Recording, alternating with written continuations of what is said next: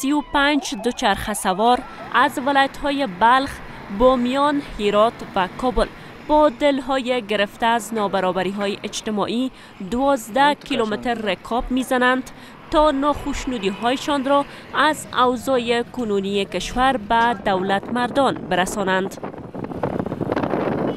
آمدم در رکابزنی شرکت کردم تا که از حکومت و دولت یک حکومتداری خوب بخوایم اصلاحات بخوایم. زنها هم می‌تونن که از حق حقوق خود از حق حقوق خود دفاع کنه زنها هم می‌تونن که روی جاده ها رکاب بزنن. یک تغییرات بیارن بالاخره صدای جوان صدای ورزشکار صدای خانما را یک کسی بشنوه من خلق ته وخیو چې د افغانستان خلک بیدار دي د افغانستان خلک ژوندۍ دي د افغانستان خلک د حکومت نه ښه حکومتداري غواړي. و معاون دوم رئیس جمهور می‌گویند که زنان کشور انزوای سیاسی، اجتماعی، فرهنگی و اقتصادی را به بدترین گونه آن تا اکنون تحمل کردند و این اوضاع نباید بیش از این ادامه یابد.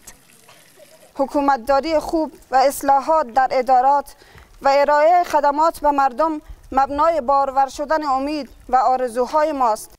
اما معاون دوم رئیس جمهور رسیدن افغانستان را به یک صلح همیشگی نیازمند یک دولت و ملت نیرومند و همدیگر پذیر می داند.